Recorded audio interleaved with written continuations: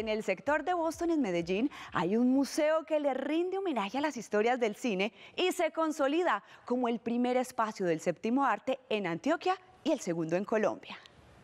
En el museo se pueden encontrar alrededor de 200 piezas de cine, televisión y fotografía, como proyectores, filmadoras, reveladores, así como elementos de utilería empleados en películas y series colombianas. Tenemos algunas cámaras, por ejemplo, del año de 1912, de la época donde se hundió el Titanic. Y así tenemos también una sala de revelado, un set de noticias antiguo. También tenemos el sofá de la fama donde nuestros visitantes pueden tomarse la fotografía del recuerdo.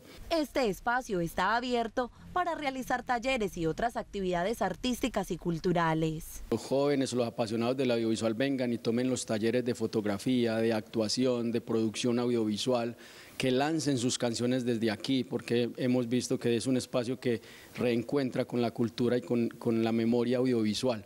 El Museo Meda York está ubicado en la Casa de San Pedro, en el barrio Boston. Esta casa fue construida hace más de 100 años y diseñada por arquitectos españoles.